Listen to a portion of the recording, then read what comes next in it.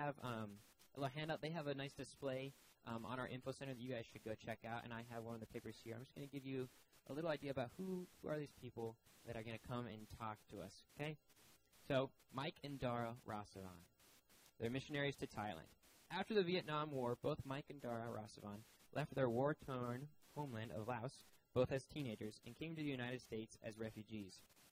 Returning to Asia was not part of their plan until they met Jesus Christ, who changed their lives forever.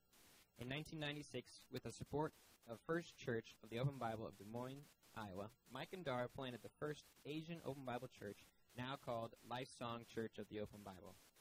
After Mike and Dara raised their family in America, they continued to feel the call to minister to the lost in Asia. In 2007, God opened the doors of Cambodia so that both Lifesong Church and Global Missions could partner to launch the Lifesong Learning Center in Cambodia. Now the Lord has called Mike and Dara to go back to their homeland and bring the good news of Jesus Christ to the fields of Asia, which include Vietnam, Laos, Cambodia, Thailand, and Myanmar. So if you guys give a nice Boone Open Bible welcome, we're going to welcome the Rasavanhs right up here.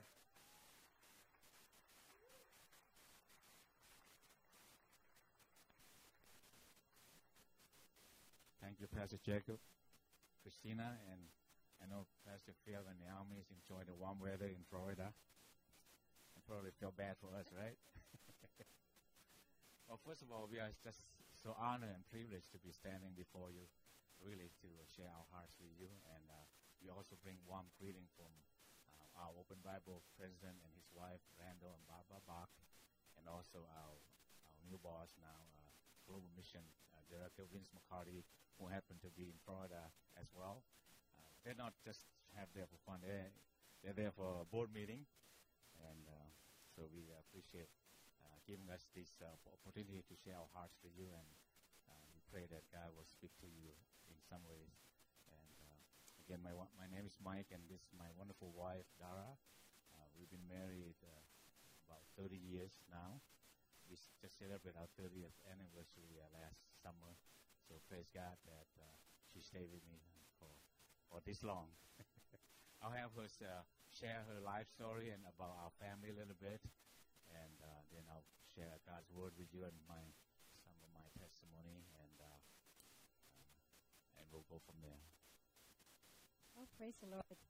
Again, we just appreciate and thank you so much for giving us the opportunity to come and just share with you what God is doing in our lives. Um, just wanted to introduce you to our family a little bit. Again, as Mike said, that uh, we just celebrated our 30th anniversary this summer, past summer. So praise the Lord for that. Um, I'll tell you what, it takes a lot of hard work. 30 years not easy, but you know, God is good. Without Him being in the center of our lives, we would have made it this far. We have two children, Zach and Bella, they both actually graduated from Iowa State. He's a cyclone too. Last night he was screaming all by himself. anyway, praise God. Um, we were able to raise our family here um, in the United States. Zach is now graduated from Iowa State and working in California in uh, San Jose. He's been there for three years, and he's going to be getting married um, this August, so right before we leave for the field. Yes, going to be married for a, with a girl from Ames, and our daughter Isabella. It's uh, she is uh, also graduated from Iowa State, and now she's working. Um, I don't know if we have freedom for youth here, but um, she's working as a communication uh, manager at Freedom for Youth. It's a non faith-based nonprofit organization. She doesn't make that much money, so she's back living with us at home in the basement. You know how that goes, right? Well, praise the Lord. Again, um, I came to the United States when I was 13 years old uh, as a refugee with my family. But you know, that's right after the Vietnam War ended. Do we have any veterans in the house? Or you know a veteran, in your family? Well, thank God. Praise the Lord for veterans. You know, as much as we hate wars, I think most of us do. I, I don't like war, and a lot of us don't because war brings pains and suffering. It separates families and friends. But you know what? God takes what the devil meant for evil and turn it for good. Amen. Praise the Lord for that. And He takes what the devil meant for evil, the Vietnam War, and He turned it around for good. And I truly believe that's the reason why He brought so many uh, Asian, Southeast Asian to United States. In the beginning, you know, I thought, wow, when I look at the picture of America, this is a land filled with milk and honey if you want to know the truth. America is a land filled with opportunity, with, you know, vast uh, uh, opportunity to go to school, to work, to, you know, make lots of money and have a nice life here. And in the beginning, I thought that God's going to bring us here so we can have that nice life. But you know what? When we got here, our family was sponsored by a church. And come to realize the real reason that God brought us here so that we can come to know the truth through his son, Jesus Christ, so that we could be set free. Because he told us that you shall know the truth and you shall be set free. And that's the reason why I believe that God brought us here. And now we know the truth. He wants us to bring this truth that we found in Jesus Christ back to the places that is still living in darkness in Southeast Asia, where their evil still reign, where there are still people are still don't know the true God, so that they could come to know the truth and be set free through the Son, Jesus Christ. Again, just want to say we appreciate the opportunity, and uh, I'll tell you a little bit more of what we'll be doing over there later. And um, truly appreciate, wish uh, Pastor Phil and and uh, Sister Naomi was here. Last time we saw them was several weeks ago in Mexico. And you know, we had to walk this downtown Tijuana area just so that he can find a gift for his wife. So that's how much he loves her. so give him a hard time when he comes back. So I learned a few things from Pastor Phil. Yes. Praise the Lord. I'd like to share uh, with you from the Old Testament, the book of Jeremiah, if you don't mind. Uh, I'm sure many of you know this passage, the first chapter. This is when uh, the Lord came and spoke to Jeremiah. Jeremiah at this uh, time, he was quite young, a young man in his 20 uh, maybe, early 20. And this is when God had spoken to him, and this is his, what he has written down from, I'm just going to read from verse 4 through verse 10 only. The word of God said this, that this is what Jeremiah said. Then the word of the Lord came to me saying, Before I formed you in the womb, I knew you. Before you were born, I sanctified you. I ordained you a prophet to the nations. Then I said, Ah, Lord God, I, behold, I cannot speak, for I am a youth. But the Lord said to me, Do not say I am a youth, for you shall go to all to whom I send you, and whatever I command you, you shall speak.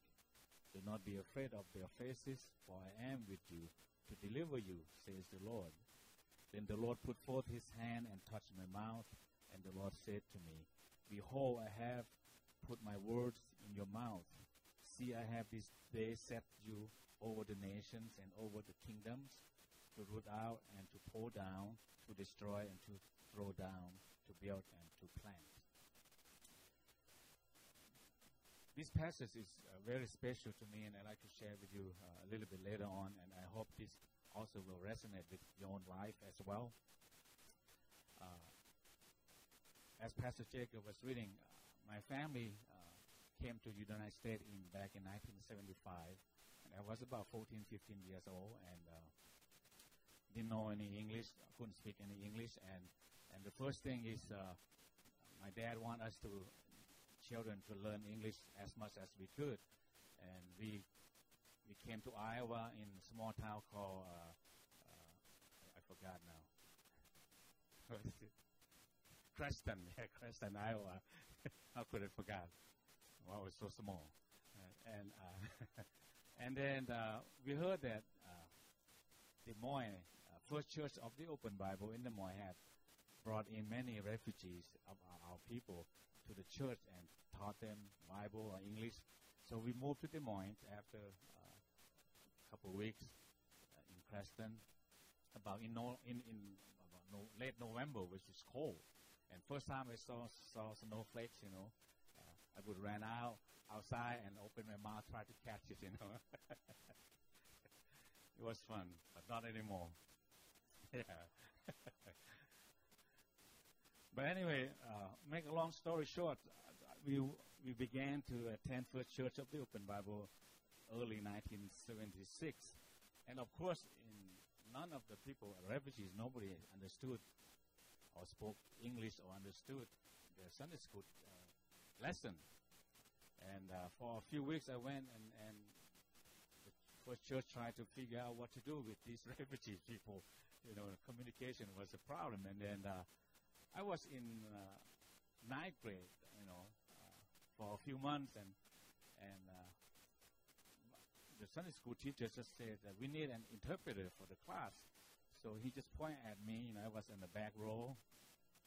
Say, hey, young man, will you come be our interpreter? We need someone to translate the lesson.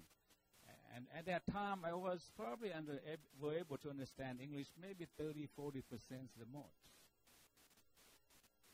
And uh, I figured since nobody understood English, so I may as well I can fake it, right? yes, that's what I did. That's what I did because that's the way I, I learn English fast. That way, even today, I still have a hard time uh, uh, speaking English. And our children always say, "Mom and Dad, you you have accent." so, uh, yeah, I, I recognize that. But anyway, I hope you understand what I'm saying this morning. So, so I was called to be an interpreter for for our Sunday school class, and it was like 60, 70 people, refugees. Uh, family were in, in the church. Uh, began 76, 77, 78. You know, it, it come here or go out this side, you know, come here and go out that side. I didn't understand anything. And I, I all this time, sometimes I, I fake it a little bit. And uh, so by 1979, during Easter Sunday, and I know every church should have, uh, you know, what's, well, Pastor Jacob talking about Easter uh, uh, eggs. Uh, then I didn't know was what it was. I, I, I want eggs too, Pastor. and uh, anyway, by that time, 1979, Easter Sunday morning, I finally understood the message of Jesus Christ. I finally, finally understood the love of God for me. I was just like frozen. I didn't know what to say. When my time to interpret the message, when Christ was crucified and, and died for, for our sins. The first time I understood that, I was frozen. I, I couldn't say a word. I was just stood there, motionless, and, and people look at me and what's going on, and tears just ran down my face. I couldn't say a word. Sunday school teacher waiting for me to say something. I, so I turned to him and said, I could not say a word that Jesus, Jesus Christ died I just couldn't say it. And I was just bawling and crying. And that moment I understood, finally understood how much God loves me through his son Jesus Christ. You know, being, being a Christian and being a follower of Jesus Christ wasn't part of my plan. I was there just to learn English. I made up my mind I will not be a Christian. I will not believe in these religions, you know. Because my background, I was grew up in uh, indoctrinated in Buddhism, and my family during that time uh, practicing worshiping ancestors, meaning they worship their spirit. That's how I grew up with. And I, I made up my mind I will not become Christian or even follow Jesus Christ. But that moment, Easter Sunday morning, 1979, I gave my life to Jesus Christ and never look back since. Praise God for that. And uh, fast forward, fast forward, uh, 10 years later, uh, of course, I, I, met my wife, Dara, and uh, we got married right after I graduated from Iowa State, 86. Uh, and then in 1999, God called us to plant a church, as Pastor Jacob uh, was reading. Uh, we planted a church in 1996, Asian Open Bible Church. Now is uh, known as Life Song Church of the Open Bible, which we pastor for 20 years, and we stepped down last May, uh, last last year, uh, to become a missionary to to Thailand. Uh, until 1997, the year after we planted the church, my parents, uh, the reason this passage meant so much to me, uh, this is uh, what I'm going to share. My parents uh, told uh, told me this this story, this uh, family secret. They have kept this secret for 37 years. They never talk about it, and they said, "Mike, we want to tell you this. Since now you are a pastor." My dad said 37, 37 years ago, uh, when you were inside your mom's womb and when your mom was pregnant, uh, we didn't want you. We didn't want to have you. The reason being this because uh, back then my mom, like I said, my mom and dad worshiping ancestors, and when my mom was pregnant, uh, she got sick a lot, got sick every day.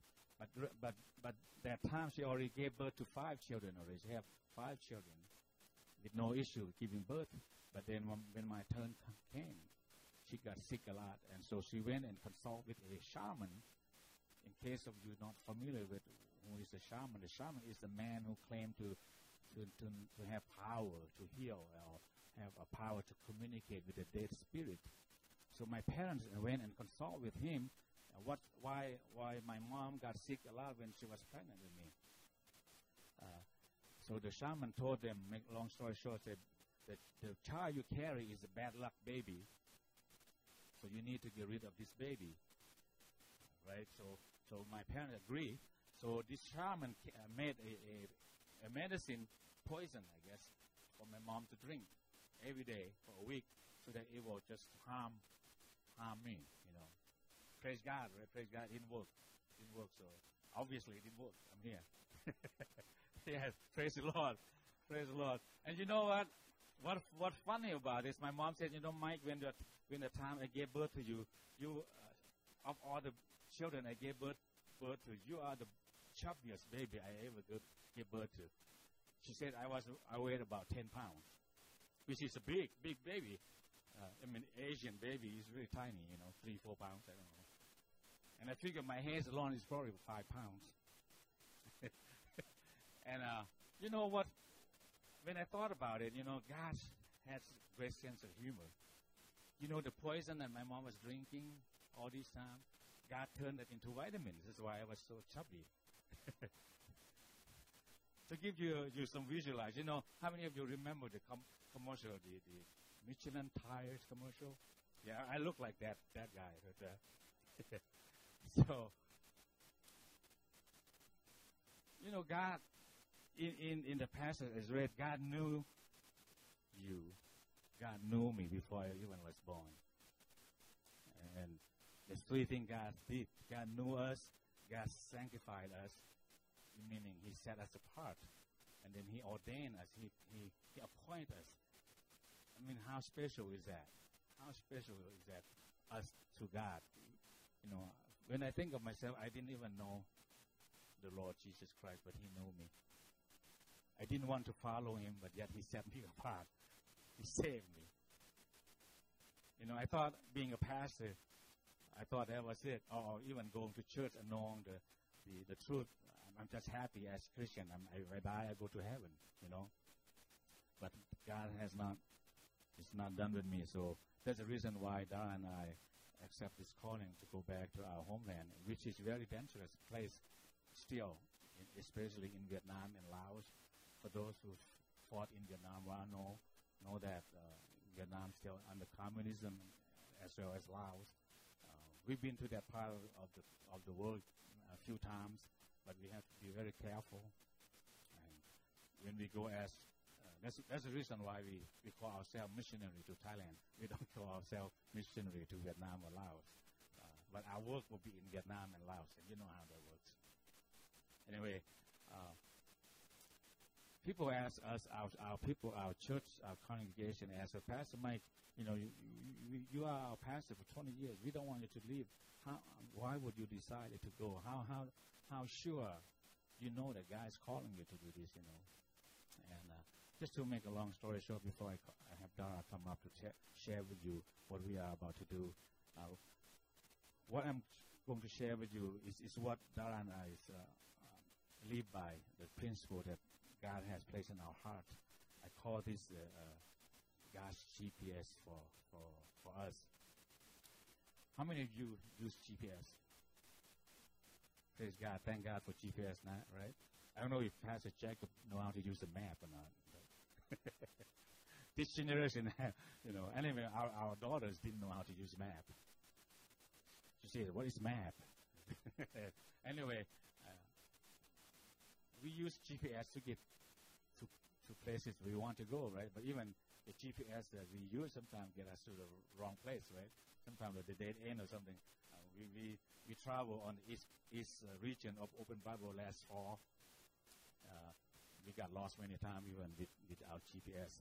But you know what? In the, Bi- the Bible, our ultimate GPS is our Lord Jesus Christ, right? I mean, He is the way, the truth, and the life. No one comes to the Father except through Him. So, but but but the principle that I want to apply to us, our calling is uh, just just to help enc- encourage you. Some of, of, of, you here may be sitting here, may be pondering or wondering uh, what God has planned for your life. You know, uh, what we are, what I'm referring to a God's GPS for our life is this uh, three principle. Very simple one. I'm, I'm not going to preach on it. Is this ask ourselves this question, these three questions. First one is is what we are doing right now pleasing to God? That's our G1. Ask ourselves, is what we are doing right now pleasing to God? Secondly, is what we are doing right now helping other people? That's the P part. And before I get to the S part, I'm sure you will figure figure it out. The Bible told us in, in Hebrews chapter 12 to tell us to fix our eyes on whom? On Jesus, right? Because he is the author and finisher of our faith. For the joy that set before him, he endured the cross and despised the shame. Jesus did everything pleasing to God, right? I mean, when he was on earth, he did everything on that he, uh, even to the point, uh, the night before he was to be betrayed, to be crucified, he was praying, Lord, Lord, if, if possible, remove this cup, I mean, this suffering. But Jesus said, no, this is not, not my will, but your will be done. Meaning Jesus did everything to please God the Father to the point suffering. Sometimes when we want to do things to please God, it's not easy. It's not easy. And everything God, Jesus did on earth is for you and I. Jesus told his, his, his disciple, right, even the Son of Man came not to be served, but to serve other people. So our, our mission is to help other people, whatever we do. And lastly, the S part, Jesus is our ultimate sacrifice. So ask ourselves this, if we are going to do things to please God, to help other people, is what we are doing right now require a sacrifice or surrender. We need to surrender to our Lord. So with that being said, I hope that uh, uh, our testimony will encourage you in some ways to walk with the Lord because as Apostle Paul begged the believers in Ephesians, I believe, you know, to walk worthy of God's calling in our life. So whichever calling God has put in your life, uh, we need to walk worthy of that. With that being said, I want my wife to come back to share with you what we are doing, what we will be doing, and what uh, you can be involved with that. And I'm sure you have already been involved in some way already, uh, she, will share with you. Well, praise the Lord. Uh, Jennifer, yeah, you can put up. Now, many of you have given to the uh, global mission of the Open Bible. You have, right? And you probably have several years ago given to the Cambodia project, and you probably didn't even know where the money went or what it, you know, happened to that. Actually, the money that you have given we um, built the school, and right now it's a we call it the Lifesong Learning Center, which is partnered with Open Bible Churches. We have the school and the housing for short and long-term missionaries there, and also a worship center. And Jennifer, you can go ahead and yeah, keep turning. So at the Lifesong Learning Center, there we have up to between 200 to 500 children on a weekly base that comes to the center to have the after school program. They have children's church there. Uh, we teach English. We um, you know, just uh, teach the Bible, and lots of children got saved in that village. It's about two hours from the capital city, Phnom Penh. Um, our missionaries there is actually came from the United States. They they were the survival of the killing field. You heard of the killing field from Cambodia? Um, they are a retired couple. They are a self-supported missionary to Cambodia. They are the director now. Just last summer, over 200 children came to know Jesus as the Lord and Savior through the center. So this is where the fund that you have helped went to the Cambodia Center several years ago as you give to the global mission of the Open Bible. Brother Lee there is our director there. He um, just baptized children on a weekly basis as they come to know the Lord. And lots of good things happening in the village. Um, we have outreach program to the villagers. Um, you know, the, the main problem in Southeast Asia is still poverty and sex and human trafficking. So our education includes teaching English and also teach and um, um, teach the parents on how to um, prevent the sex and human trafficking for that the children will be lured into the, this dark business in this area of the world where they actually trade and sell children into prostitution. And sadly, because of poverty, many family members even sell the kids to that without knowing or even realize what they have to go through in that um, dark business where maybe they come to the village and and you know said we're going to take your your kids or your young people to the city and work and they can send you money. Had no clues what they would be doing. Maybe they receive you know 50 a hundred dollars per month and that's a lot of money over there because the average income for a teacher in southeast asia is around between 30 or 40 dollars so if the children goes into the city and actually bring home fifty dollars a month. That's quite a bit of money for them, and maybe they just don't realize what they were doing. So those are the things that you could be praying for, and then we will be also teaching the awareness of the human and sex trafficking um, in those areas. This is the worship center that just got finished last year, and this is part of your giving too. This building can host up to a thousand people because when they come into the building, they actually sit on the floor. We sometimes don't don't use the chairs and tables, so they actually could sit on the floor and they take off their shoes. So we can put a lot of parents and, and the villagers and the, the children that come to the worship center and do a lot of activities there. Um,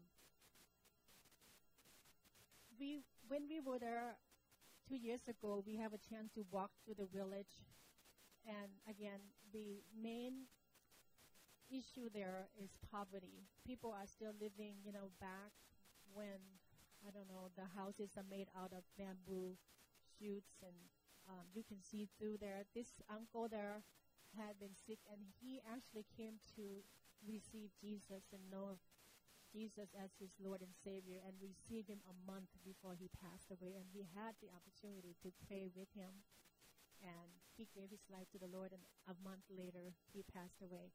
So we truly believe that he is with Jesus. And um, we also, our ministry at the um, Song Learning Center is we give a uniform once a year to all the children that come through the center. And that's very important to them because they need uniform to go to school. And a lot of times the uniform will pass on to their siblings, and you can see that little girl. She's probably wearing one of her bigger sister's um, uniform that passed on to her, hand me down. So that's kind of a little long for her. Those are the lady daily lives that they do, walking around their dirt road, and then you know they live in huts and everything. Um, we do a lot of outreach in the community in the village because some of them doesn't have a way to come to the center and most of them walk or ride the bike, and we also go out to the community in the villages to actually teach English and the Bible in at the homes for those who cannot attend. This is the overall of the center, how kids come after school program. Right after school, they would come, and what we'll do is provide them one meal per day. That is, um, we do provide breakfast to the preschooler and after school, um, elementary school and middle school up to high school. They do come after, and they love to learn English. So if you have a short uh, term mission, come over a team could come and teach English at the center. And the kids just love to come to the center every day when we were there. You know, the we don't Sunday school doesn't open until about eight o'clock, and the kids come like at five thirty. And we thought, why are they doing it so early? And they would be like right before the gate, you know, and say, oh, they come early, and we just let them in. They just love to come and hang out at the at the center. Um, we also do a lot of outreach in in um, Laos. Um, we will actually be working in five different countries. We will live in Thailand, where it's more centralized. We will be working in Thailand, Laos, Vietnam, Cambodia, and Myanmar. Right now, our our Lifesong Learning Center in Cambodia is fully finished. What we'll do is use it as a training center where we can bring uh, people who would like to be disciple and be trained to become evangelists or pastors. So we will use the center for that purpose. But otherwise, we will go and outreach and uh, work with, mostly work with kids and uh, in the school and university to teach and train and disciple. Um, this is this is the this lady here actually used to be my neighbor. I, my family came to the United States in 1980, and she used to live next door with her, her children and family, but some of the, her children had passed away, and, and I found her because they have relocated them to this area, and then um, she's living with her granddaughter and sitting next to her, and you know, it just made me thinking. This is why Romans 8:28 come to my mind said, and we know that God works all things together for the good of those who love him and who have been called according to his purpose. I truly believe that he brought us here for that purpose. So now we can come back and tell the people that we used to know and the people that we don't know so that they can know this truth. And, and her, her, um, the, the, the living condition seems to, seem to go down instead of, you know, getting better. And her living condition was pretty bad and poor, and she was old and frail. And um, they lived in this hut that is really open, and and I realized that if we continue to live in that area, we might end up living in that kind of condition. But God has saved us and brought us here, and truly, you know, not only that we have gained the knowledge of the truth, that our life is actually better because we have the living God who is providing for us. Um, this is the church in Thailand that we will be working with, and the, the, in the northern part. So this is the group of the people that we will be in contact with. Um, go ahead and move. This is the church in Vietnam, and the church in Vietnam um, all the registered church has to be under the state church. That means that you have to give the schedule to the government in one year of what you're going to be doing, what you're going to be teaching, and you cannot go outside of that realm. So basically, you know, as much as we know, the United States has the freedom of speech, freedom of religion, we can go out on the street and preach Jesus and nobody would put us in jail. But in Vietnam, if we do that, we could actually be put in jail or maybe even get killed. So those are the kinds of things that is happening over in that area in Laos and Vietnam where, as Mike mentioned, that is their communism, and it is actually against the law to preach the gospel in that. That's why they have a lot of the underground church. This is actually my grandmother. Um, back in 2002, I had the opportunity to go and visit her. My mom has eight children, and I was so blessed. I'm the only one of her children that get to meet my grandmother. I witnessed to her. You know, she said she received Jesus, but she passed away five years after that. I truly believe that she, she is with Jesus. And um, okay. So this is my um, my my cousins. They are still. This is in North Vietnam. Um, this is the Thai Dam people, this is the costume, this is this is how they, they live their lives. And a married uh, lady would have a bun on her head like that. And, you know, I could imagine if I was still over there and God didn't bring us out here, I'd probably look something like that and never have a chance to meet you. Anyways, uh, it was it was kind of interesting, and um, this this this is a man that is my mom's uncle. My mom actually gave me envelope to give to a few people that are relatives to her, and one of them was for her uncle.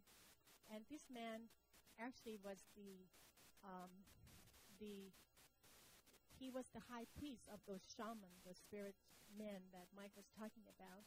He actually makes sacrifice once a year as a national sacrifice for the country, but he's been blind for a few years before I went and met him. And that day when I went and looked for him, uh, he happened to be home. He was and his wife supposed to be going out to the field, and when they go to the field, they would stay there for like a week. But that day, God made you know, God let him stay home. His son, his son and daughter-in-law went to the field. And when I got there, you know, I, I truly believe that. How many of you believe that God speaks through dreams and visions? I truly believe that. As soon as he felt my hands, I told him who I was. My mom was his uh, niece. And he said, Are you the messenger that's supposed to send you know, I, I, it took me a little bit to even think about what he's talking about. And then the Lord just in my mind and said, He has seen a vision. And I said, Yes. And he said, Give me the message. And, you know, I thought, this is, this is the opportunity God's given me. And I started telling him about the God who created heaven and earth, the God who owns the universe, and the God who loves us so much and sent his Son to die for us. And whoever believes in him will not perish, but have eternal life. And I asked him, I said, Do you receive the message? And he said, Yes. I received the message, and now I can die with my eyes closed. God still speaks through dreams and vision. A year after I came home, he passed away. Today, I truly believe that when we walk that land in North Vietnam and pray, God is going to open up doors for those people to come to know the truth and they will be set free, just like this man. Praise God for that. Um, you know, one of the things that um, our Lifesong Learning Center in Cambodia will be doing is receive short and long term missionaries. God ever speaks to you, please come. It's ready and ready to receive missionaries. Uh, many people have asked us, you know, Mike and Dara, why are you going back to the place where you actually flee from? We actually flee for our lives when we get, when my family came out of Laos, 1979. You know, we they were shooting at us, and you know, we almost died, but I believe that Jesus, God saved us for this reason. And the only thing that I could say is when my family, especially my family and friends, you know, said, Are you not afraid? And truly, as a human being, yes, we all have fears. But you know what? The Lord is our light and our salvation. Whom shall we fear? The Lord is the strength of our lives. Whom shall we be afraid? I'm not afraid through Jesus. You know, He's the one who gave us the strength. And He gave us that confidence that we are not afraid to go back. Yes, in our human nature, we are afraid. So those are one things, the things that you can do for us. You can pray for us as we go back to these places where it's still danger, where they still persecute Christians. Um, please keep us in your prayer. We have some prayer cards out there. Please pick one and keep it nearby. When you pray, please remember us.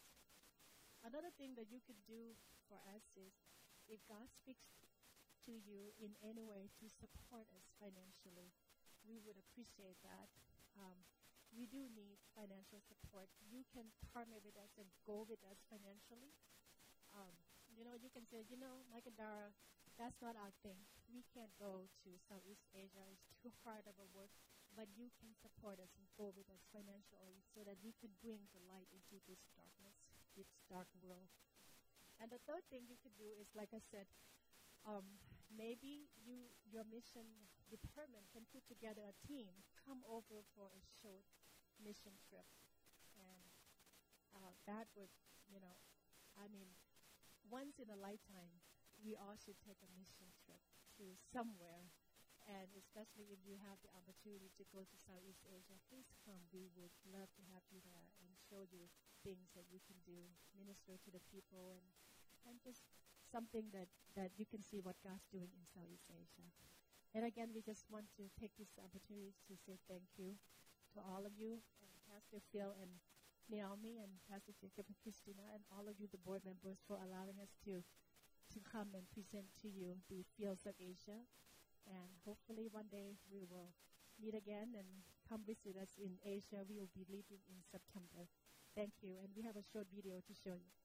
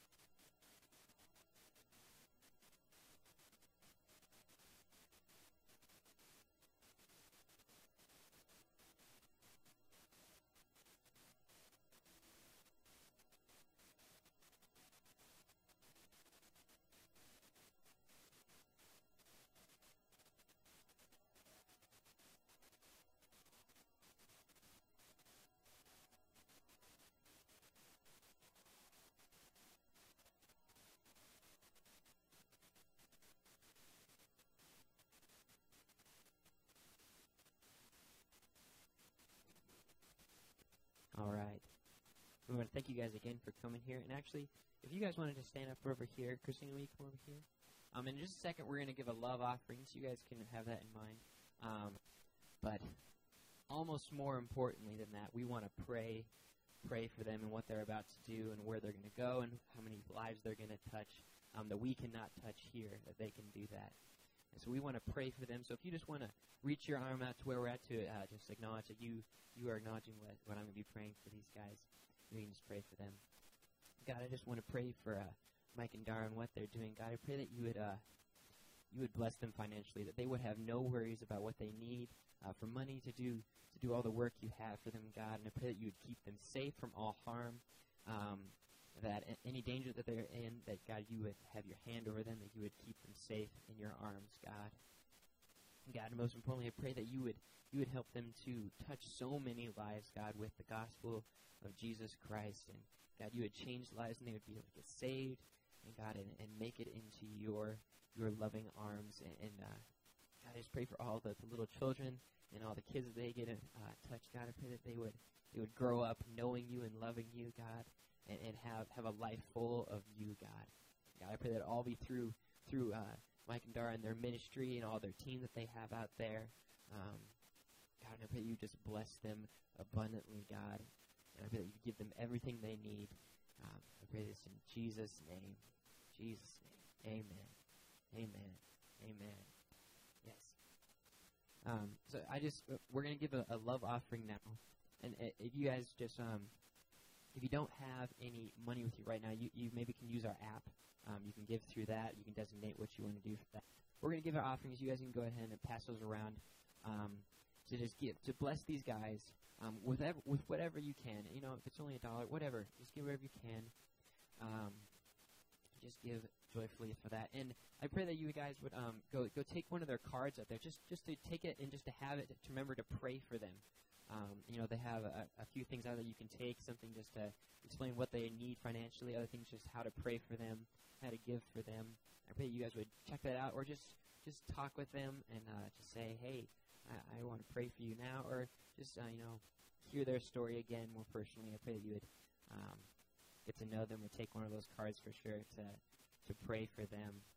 Um, but we, we're just so glad you guys could come here and to just share your story with us, and we can learn about that. It's always good to hear uh, what God is doing in other places um, that is not here, and so we cannot see so far away. Um,